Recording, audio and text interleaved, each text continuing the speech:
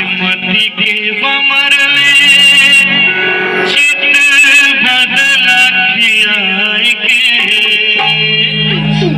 के अरे बाट बस में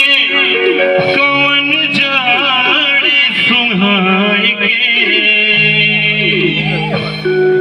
होई बतावे के पड़ी